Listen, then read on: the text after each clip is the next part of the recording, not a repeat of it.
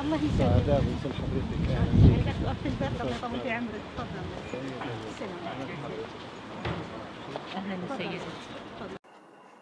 فكان تفكيره هو ليه وال- وال- ابو ظبي هي أكثر آه، إمارة فيها إنتاج للنفط مقارنة بالإمارات الثانية. السبع حضرتك يعني يعني تشرفنا بشوفك هني في ال- عند حضرتك في المكتب هني قبل كم شهر أول ما قلت خلاص إن شاء الله يعني مرة ثانية.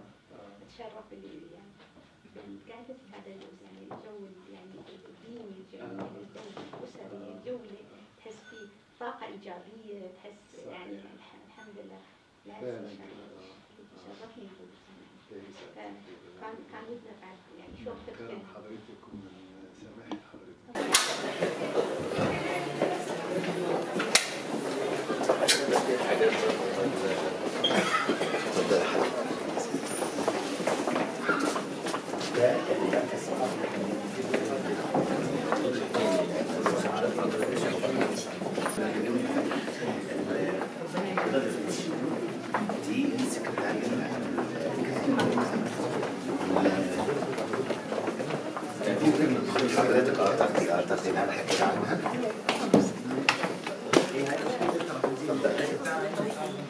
وسهلا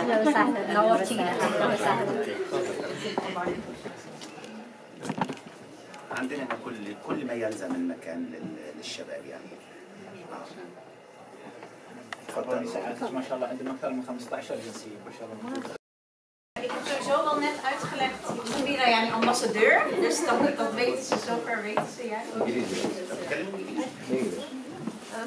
So this is one of one of the classes. Um, and as you can see, we're very adamant to make sure that those who Hebben jullie wel eens van de heilige... Hebben jullie wel eens van de heilige Macarius gehoord? Ja. Waar heb je daarvan, daarover gehoord? Ja.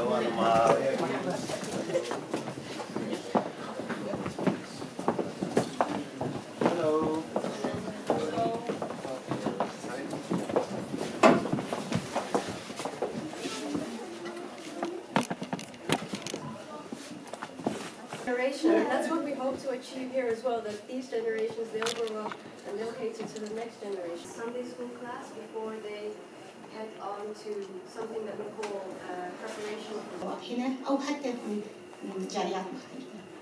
آه، في الامارات نحن عندنا عام التسامح اللي هو عام 2019 واللي هو عام تولرنس من خلال عام التسامح مثل ما قلت بالانجليزي ان التسامح يبدي من من المدرسة، يبدي من العائلة، يبدي من العائلة الصغيرة.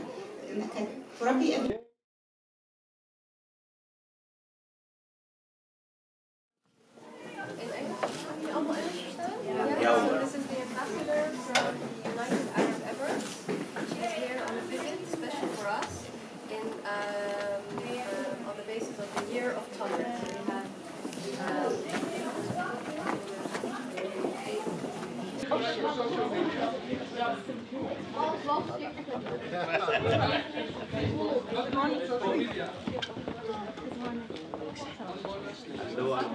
Hello. Yeah, so this is the ambassador from the United Arab Emirates. She's here on a visit special for us in um, um, on the basis of the year of tolerance. So they have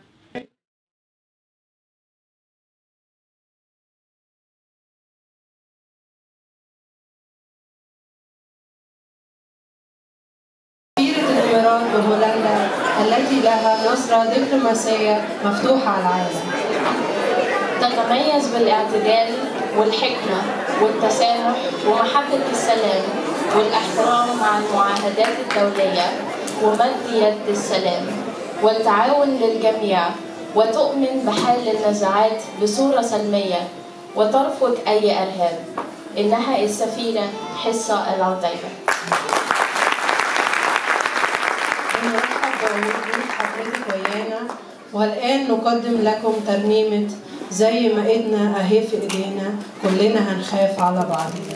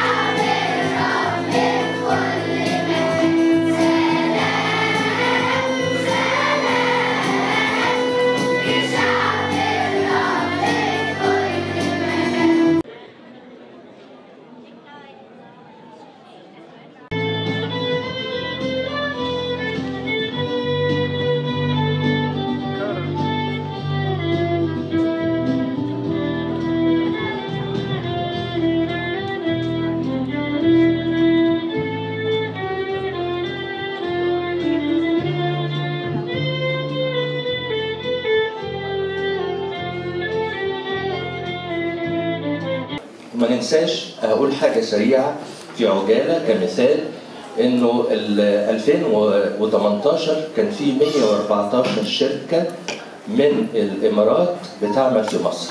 20 منها في مجال الاستكشافات النفطية.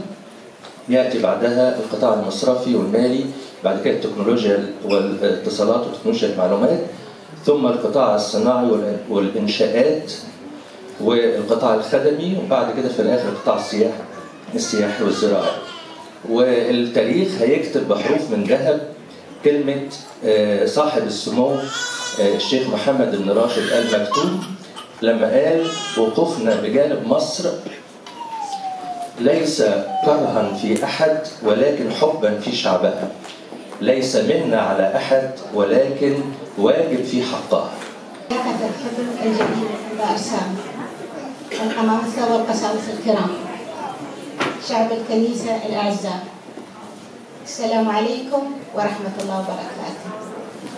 التقيت سابقا مع الأنباء أرساني في عدة مناسبات وأحببت أن ألتقي بكم في الكنيسة حيث رحب نيافتي برغبتي في زيارة المركز الثقافي القبطي الذي يعتبر من أكبر المراكز القبطية في أوروبا لخدمة الجالية المصرية والذي أقيم لتقديم مجتمع مثقف وواعي ولما له من أنشطة متعددة في الترجمة ونشر الكتب بشرح العقيدة والتراث وروحيات الكنيسة القب- القبطية الأرثوذكسية. يعني أنا كنت مش متخيل إن الزيارة هتبقى دسمة للدرجة ديت وفيها يعني فيها دفء وفيها شعور جميل. إحنا ممنونين جدا لزيارة حضرتك والحقيقة أنا دايما بقول إن الإماراتية دول ناس حلوين وناس قريبين لقلبنا وللشعب المصري. و تملي لما تيجي سيرة الشيخ المؤسس زايد وسلطان آل نهيان الواحد يعني يشوف صورة الحاكم الحاكم العادل الأمين المخلص اللي فاد بلاده وفاد بلاد العالم بحالها. إنسان عظيم له مكانة كبيرة في في قلوبنا وفي حياتنا. إحنا بنعتبر الإمارات دي درة العالم. يعني نعتبرها جوهرة كده ثمينة جميلة حباها الله آه، صفات جميلة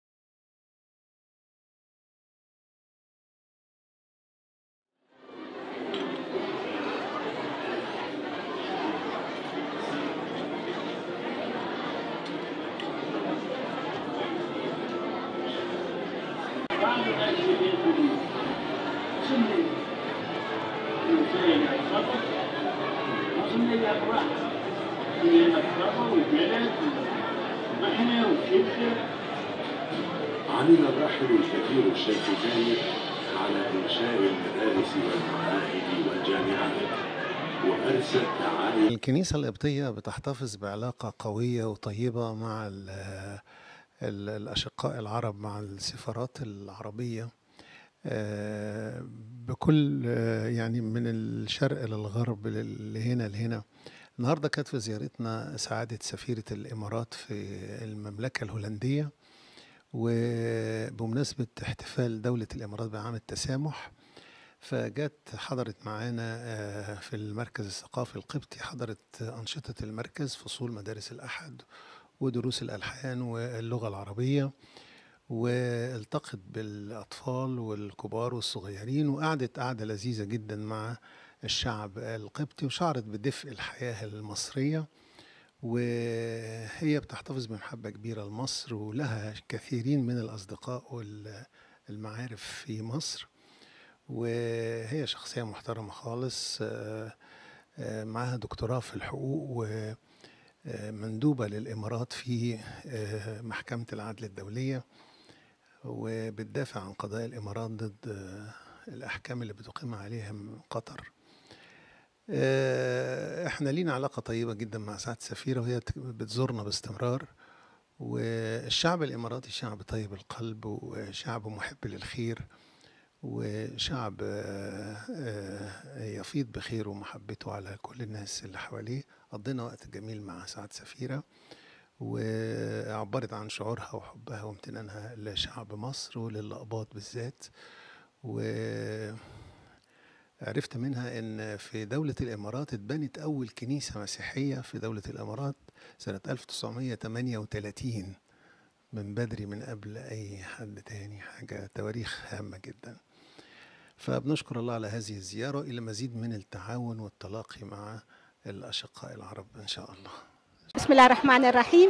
آه، يشرفني أن أكون اليوم هنا مع آه، نيافة الأنبا أرساني والقساوسة وشعب الكنيسة آه، الجميل اللي حسست بوجودي بينهم بروح ال- الأسرية الروح المصرية الروح ال- الحلوة روح المحبة لنا كإماراتيين وبينهم وبين بعض. طبعا نحن أنا موجودة هني لزيارة الأنبا أرساني وزيارتكم وقضاء يوم من يوم الأحد آه، لرؤية أيضا ال- المركز آه، القبطي التابع للكنيسة والذي يقدم الكثير من الخدمات آه، للجالية القبطية المصرية هنا آه، من من دروس في الدين ودروس في العقيدة وترجمات وكتب لإعطاء آه، للمساعدة في خلق جيل جيل واعي جيل فاهم جيل يساعد في بناء مجتمع مسالم مجتمع آه، طيب مجتمع يتسلح بالعلم آه، والدين والعقيدة في نفسه. روح التسامح هذا يقودنا إلى آه، الإمارات الآن في دولة الإمارات. 2019 هو عام التسامح. الإمارات على أرضها الطيبة يوجد أكثر من 200 جنسية. لدينا وزارة للتسامح. آه، قداسة ال- البابا آه، توادرس آه، الثاني بابا ال- الإسكندرية زارنا في 2014 وصرح أن الإمارات هي مثال حي للتسامح. البابا فرانسيس بابا ال- ال- الفاتيكان زارنا مع في فبراير 2019 آه، مع شيخ الأزهر الإمام الأكبر الدكتور أحمد الطيب. وتم توقيع آه، آه، ما يسمى بوثيقة الأخوة التي انطلقت من الإمارات للعالم. آه، نرفع شعار التسامح والمحبة للجميع بغض النظر عن العرق والجنس واللون والعقيدة. نحن جميعا آه، معا ممكن أن نصنع السلام في العالم. هذه رسالة الإمارات للعالم. شكرا على استضافتكم لي. شكرا. شرفتنا